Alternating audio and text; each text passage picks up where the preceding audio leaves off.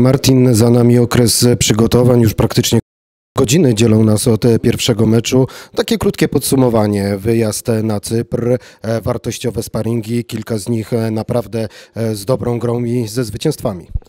Tak, e, był to dokładnie myślę, że miesiąc e, tego okresu przygotowawczego, więc było tam kilka e, ciekawych spotkań, czy ze Salzburgiem, ale i wszystkie te spotkania myślę, że byli ciekawi przeciwnicy i coś nam pokazali, coś tam poprawiliśmy, coś trenowaliśmy, wiemy co chcemy grać, cieszymy się bardzo na ten pierwszy mecz i mm, wierzymy, że jesteśmy dobre, dobrze przygotowani, ale to musimy pokazać na boisku.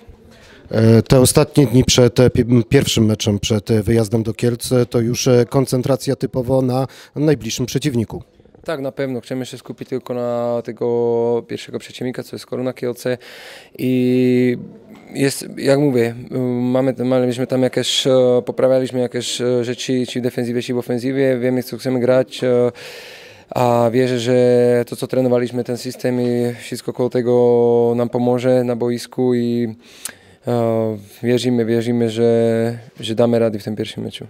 No w tym roku jeszcze bardziej chyba niż zwykle ważny jest ten dobry start, szczególnie te dwa pierwsze mecze, gdzie gramy z drużynami, które są za nami, ale jednocześnie bardzo blisko nas. Tak, zdajemy sobie sprawę, że te pierwsze dwa mecze są z przeciwnikami, którzy właśnie są tam na pozycjach e, za nami, za plecami naszymi i wiemy, że jak może być, jeżeli damy rady w tych meczach, jak może być, jeżeli nie damy rady, więc e, będzie na pewno trudno. No. Oni tak samo zdają sprawę o tym, jakie są pozycje, jakie my jesteśmy pozycji, więc myślę, że będą to wszystko ciekawe spotkania, no i zobaczymy, kto z nich zdobi najwięcej punktów.